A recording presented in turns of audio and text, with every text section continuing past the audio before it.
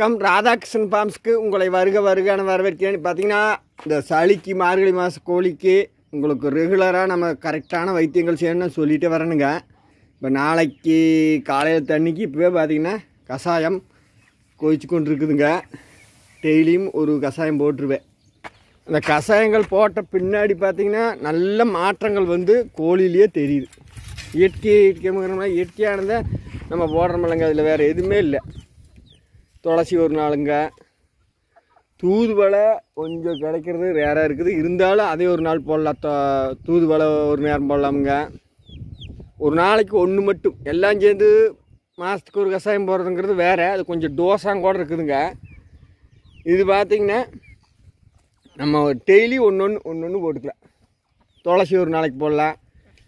கடம் மிளகும் துளசி மட்டும் பார்த்திங்கன்னா இந்த கஷாயத்துலேயோ மற்ற கோழிகளுக்கு சேர்த்துறதோ வந்து கொஞ்சம் வந்து நம்ம கம்மியாக போடணும். அது ரெண்டுமே பார்த்திங்கன்னா வயிறு புண்ணாகக்கூடிய வாய்ப்புகள் அதிகமாக இருக்குது. அந்த வகையிலிங்க நேற்று பார்த்திங்கன்னா நான் என்ன போட்டேன்னா குப்பைமேனி. முந்தா நாளாக அப்போ வீடியோ எடுத்துனாலுங்க கீழே நெல்லி. இப்படி ரெகுலராக ஒன்று போட்டுக்கிறேன். இன்றைக்கி வந்து துளசி போடணுங்க. துளசியும் ஒரு கைப்பிடி அளவுக்கு தான். ஒரு ஒரு குடம் தண்ணி நல்லா கொதிக்க வச்சோம்னா அதுலேருந்து சாறு இறங்கி அதை நம்ம காலையில் வச்சுட்டு மீண்டும் பார்த்திங்கன்னா அந்த கஷாயத்தை தண்ணி பார்த்திங்கன்னா ஃபுல்லாக குடிச்சிருச்சுப்பா பாருங்க கொஞ்சோண்டு இருக்குது பாருங்க மீதி. அதுலையெல்லாம் ஃபுல்லாகவே குடிச்சிருச்சு. இதில் கொஞ்சம் இருக்குது. அதில் சுத்தமாகவே குடிச்சிருச்சு. இது என்னன்னா நம்ம இருக்க பசு தண்ணி மோந்து வச்சுக்கலாம். இப்போ அடைய போகிறதுக்குள்ளே பார்த்தீங்கன்னா எல்லாம் பசு தண்ணி குடிச்சுக்கு. அதில் எஃபெக்ட்டு அந்த மாதிரி இருந்தால் கூட எல்லாம் தொண்டை விட்டு இறங்கிக்கும் நல்லா இருக்குது அதனால தான் பார்த்தீங்கன்னா ஒரு நேரம் அந்த கஷாயம் மருந்து இது எல்லாம் வச்சாலும் ஒரு நேரம் பசு தண்ணி வச்சிடணும் அதை எப்படின்னு நம்ம கனெக்ட் பண்ணி வச்சுக்கலாம். எந்திரிச்சியுமே மருந்து தண்ணி கஷாய தண்ணி வைக்கலாம்.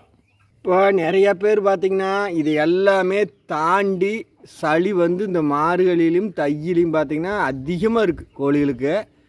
வெள்ளைக்கழிச்சல் வர்றது இது எல்லாமே பார்த்திங்கன்னா இந்த மாதங்கள் தான் இருக்குது இந்த கஷாயங்கள் நம்ம போட்டு கொடுத்தும் மீண்டும் வந்து எங்களுக்கு சளி கோழி வந்து உறங்கி நிற்கிது டல்னஸ்ஸாக இருக்குது. அப்படின்னு நீங்கள் சொல்கிறப்ப இங்கிலீஷ் மருந்தை கையில் எடுக்கலாம். மெரி குயின் பார்த்திங்கன்னா எல்லாமே தெரியும் உங்களுக்கு. மெரிக்வீன் அளவு கொஞ்சம் எக்ஸ்ட்ரா விட்டு பார்க்கலாம். அதுக்கும் கேட்கலிங்கண்ணா பாருங்க இது வந்து ஹெவி இந்த மருந்து வந்துங்க சளிக்கே வந்து ஒரு பெரிய ஒரு வரப்பிரசாதம்னே சொல்லலாம். நல்லா அந்த சளி குறையசாங்கிறாங்கல்லங்க அந்த கண்ணெல்லாம் பொங்கி சளி வரும். அந்த அளவுக்கு இருக்கிறத இதை க்யூர் பண்ணுறதுங்க இந்த மருந்து உங்களுக்கு கமாண்டில் ஸ்பெல்லிங் கூடவே போடுறேன். லெக்போ பிராக்சினா நான் உங்களுக்கு கமாண்டில் ஸ்பெல்லிங் கூட போடுறேங்க. அதை பார்த்து நீங்கள் மருந்து வாங்கிக்கிங்க. இது போட்டாவும் போடுறா. தமிழ்நாட்டில் நீங்கள் எடுத்து வாங்கிக்கிங்க. இது ஏன் சொல்கிறேன்னா இந்த மாதத்தில் வந்து சளி தொந்தரவு கோழிகளுக்கு அதிகம். இந்த மாதம் ஒரு மாதம் நான் பழமொழியாக சொன்னேன் பார்த்தீங்களா மார்கழியில் கோழி மத்தியான கோழின்னு. அதே போல் மார்கழி தையில் கண்டிப்பாக வந்து இது உங்களுக்கு இந்த கஷாயமெல்லாம் நீங்கள் போட்டு கொடுத்தீங்கன்னா கொஞ்சம் கோழிக்கு வந்து பார்த்தீங்கன்னா எதிர்ப்பு சக்தி கிடைக்கும். இந்த மருந்தே விட்டாலும் பிடிக்கும் எல்லா மருந்துகளும் இங்கிலீஷ் மருந்துங்க. இந்த மருந்து வாங்கிக்கிங்க. கடையில் கொஞ்சம் ரேராகத்தே இருக்குது. எப்படின்னா அந்த கோழிக்கே இருக்கிற கடைகளில் தான் அதிகமாக இருக்குங்க. மற்ற வெட்டினரி கடையில் நீங்கள் சொல்லி வந்து பார்த்தீங்கன்னா வாங்கி வச்சுக்கலாம். இது இது பார்த்தீங்கன்னா லிவரு லிவர் டானிக்கு நிறைய பேர் என்னன்னே எப்படி ஊற்றுறதுங்க என்னன்னே கேட்குறாங்க லிவர் டானிக் பார்த்தீங்கன்னா வாரத்துக்கு ஒரு நாள். பெரிய கோழிகளுக்கு நம்ம சத்துள்ள தேவனா இதுக்கெல்லாம் இருக்கனால கொஞ்சம் லைட்டாக அப்படியே வச்சுக்கலாம். மற்ற இந்த குஞ்சுகளுக்கு வந்து ஒரு லிட்டருக்கு ஒரு லிட்டரு தண்ணிக்கு இப்படி மூடியில் ஒரு மூடி கொடுக்கலாம் உங்களுக்கு தாராளமாக ஒன்று இந்த மருந்து நான் உங்களுக்கு அளவு சொல்லாமட்டு சளி மருந்து. ஏன்னா இது மெயின் இந்த மருந்துக்கு உங்களுக்கு கரெக்டாக இது எவ்வளோ எடுத்து ஊற்றுறீங்கன்னா இது வந்து பார்த்தீங்கன்னா நூற்றம்பது கால் லிட்டர் இந்த மருந்து பாட்டில். இந்த மூடியில் அவங்க கடைக்கார சொல்கிறத விட கொஞ்சம் எக்ஸ்ட்ராவே இந்த டோஸ் ஊற்றுவேன் லிட்டருக்கு ரெண்டு மில்லி வைக்க சொல்லுவாங்க அவங்க. இது நான் பார்த்தீங்கன்னா ஒரு லிட்டர் தண்ணிக்கு ரெண்டு லிட்டர் தண்ணிக்குங்க இதில் ஒரு மூடி விடுவேன்.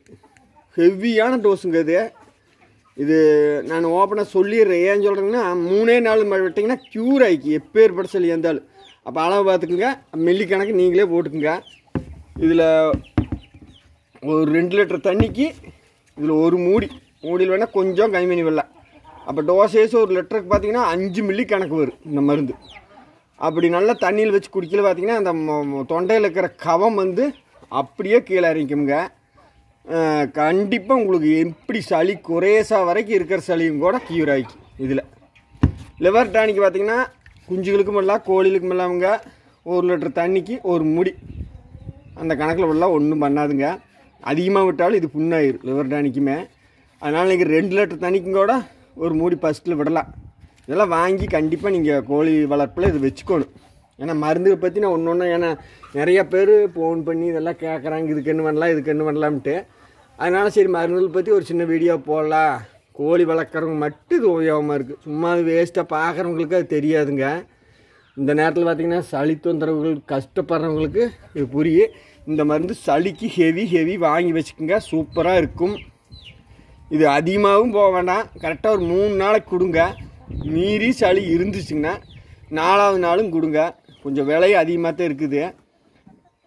இரநூத்தி ஐம்பது ரூபாய் நான் மறந்துட்டுங்க வாங்கி வச்சுக்கோங்க. கண்டிப்பாக பெரிய பாமெல்லாம் இருக்கிறவங்க பார்த்தீங்கன்னா லிட்டர் கணக்காக ஒரு லிட்டர் வாங்கி வச்சுக்கலாம் மெரிக்வீனுக்கு அடுத்தபடி இது. மெரிக்வீனை விட அதிகம் நல்லா கேட்குது மெரிக்வீனும் நீங்கள் அந்த ரொம்ப அந்த கவங்கட்டி ஒவ்வொரு சேவல் இருக்கும் பார்த்துக்கிங்களா ஏன்னா எந்த நோய் வந்தாலும் மொதல் ஒரு பண்ணையில் மொதல் வர்றது குஞ்சுக்கு வரும் இல்லைன்னா அந்த சேவலுக்கு வரும் அப்போ தான் நம்ம உஷாராயிட்டோம்னா தான் அதுலேருந்து ஸ்டடி பண்ண முடியும். அந்த சேவல் ரொம்ப கவம் கட்டி தெரியுது பாருங்க. அதுக்கு பார்த்தீங்கன்னா மெரிக்வீன் மாத்திரை போடலாம். அந்த டோசேஜ் பெரிய மாத்திரை நீங்கள் ஒன்று ஒன்று போடலாம். சின்ன மாத்திரையாக இருக்கும்போது அது டோசேஜ் அளவு தெரியல. அது ரெண்டுமே பார்த்திங்கன்னா போடலாம் தாராளமாக பெருசு இருந்தாலும் ஒன்று போடலாம்.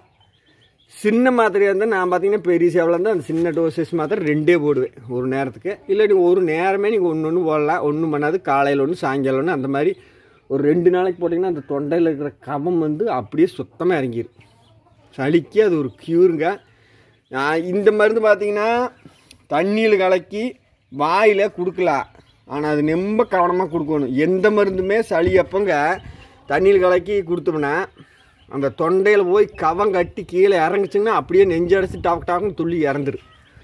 அதனால் முடிஞ்ச அளவுக்கு என்ன சளியாக இருந்தாலும் நீங்கள் பார்த்தீங்கன்னா கண்டிப்பாக என்ன பண்ணுறீங்கன்னா தண்ணியில் கலந்து அது குடிக்கிற அளவுக்கு வச்சுட்டோம்னா ஓரளவுக்கு பிரச்சனை சால்வ் ஆகுது. ஆனால் நீ அதை விட்டுங்க நம்ம அதை வாயில் பிடிச்சி ஊற்றுணுன்னு வச்சுக்கோங்க அது வந்து இடக்காரருக்கு வாய்ப்புகள் அதிகமாக இருக்குது.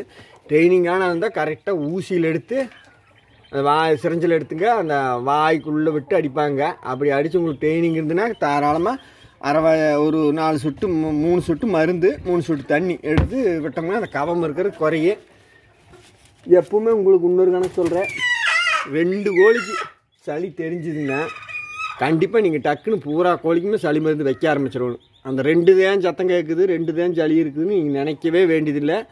அடுத்து வந்து அது ஃபுல்லாக ஒரு மூணே நாளையில் பரவிடும் மூணு நாள் இந்த மருந்து நீங்கள் விட்டு அதுக்கப்புறம் சளி ஒவ்வொன்றுக்கு மட்டும் பார்த்தீங்கன்னா துண்டாக இருக்குது ஒரு நாலு நாள் விட்டிங்கன்னா ஒன்று ஒன்றுக்கு இந்த கரு கருங்கிற மாதிரி இருந்துச்சுங்கன்னா அந்த ஒன்றுக்கு மட்டும் தனியாக ட்ரீட்மெண்ட் எடுத்துக்கோங்க. தனி ட்ரீட்மெண்ட்டு இயற்கை வைத்தியம் வேணும்னா உங்களுக்கு செய்முறை விளக்கமாகவே ஒன்று நான் போடுறேன். குப்பைமேனி ஒரு பங்கு துளசி ஒரு பங்கு மஞ்சள் ஒரு பங்கு. இது நாளையும் வச்சு அரைச்சிங்க. உருண்டை போட்டு கடமிளகு ஒரு பங்கு. இது வச்சு அரைச்சி லைட்டாக உருண்டை போட்டு அப்படியே வாய்க்குள்ளே காலை ஒன்று மத்தியானம் ஒன்று சாயங்காலம் ஒன்று தானே எப்பேற்பட்ட சளி கிளியர் ஆயிரும். மூணே நாளையில் உங்களுக்கு சளி தொந்தரவே இருக்காது. அதை நீங்கள் எல்லா கோழியும் அளவாக வச்சுருக்கிறவங்க இந்த மருந்தை எடுத்துக்கே போக வேண்டாம். குப்பைமேனி ஒரு பங்கு. ஒரு கைப்பிடி அளவுங்க.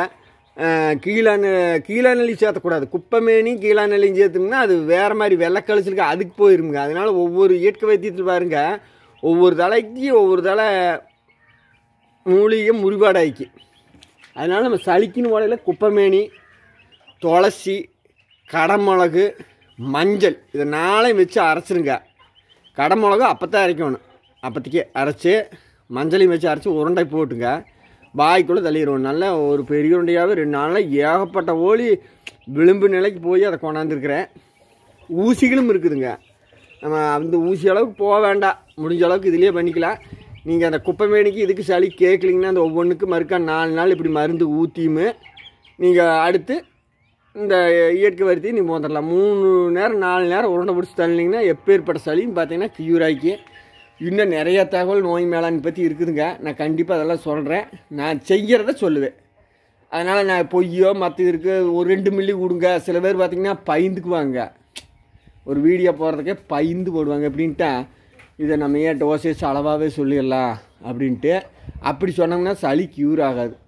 எந்த மருந்து பார்த்திங்கன்னா கரெக்டான அளவை விட கொஞ்சம் எச்சா கொடுத்தாத்தே இப்போ கொஞ்சம் கீழே ஆகுதுங்க.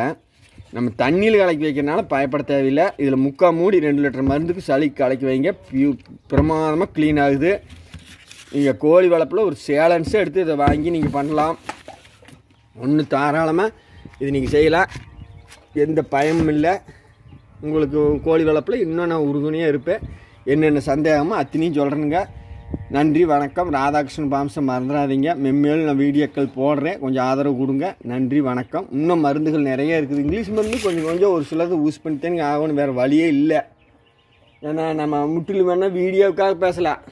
என்னென்னுங்க நான் இங்கிலீஷ் மருந்தே கிடையாது. எங்கள் பண்ணையில் இயற்கை முறை அப்படின்னா சொல்லுவாங்க. ஒரு சிலதை கடைப்பிடிச்சா தான் நம்ம வாழ வைக்க முடியும் கோழியை. இல்லாட்டி வீணாவில் அதை நம்ம கஷ்டப்பட்டு நம்ம வளர்த்துவோம் அதை அப்படியே இறக்குறப்ப பார்த்தீங்கன்னா பெரிய விஷயம் குஞ்சு வளர்ப்பில் நிறையா விஷயங்கள் இருக்குதுங்க. மருந்துகள் நான் ஒவ்வொரு வீடியோவை எடுத்து போடுறேன். நான் மூஞ்சி கேட்டு பேசுனா எப்படி சொல்கிறேங்கன்னா அதை தெளிவாக நான் இது பண்ணிகிட்டு இருக்கேன். இது பற்றி பார்த்தீங்கன்னா மருந்து தெளிவாக சொல்லிடலாம் அப்படின்னு போட்டு போடுறேன். அடுத்தடுத்த வீடியோவில் குஞ்சு வளர்ப்பில் அடுத்த வீடியோவில் போடுறேனுங்க. மருந்து எளிமையான மருந்துகளாக இருக்குது. நான் போடுறேன். நன்றி வணக்கம். ராதாகிருஷ்ணன் பாம்சம். மறந்துடாதீங்க. நன்றி நன்றி.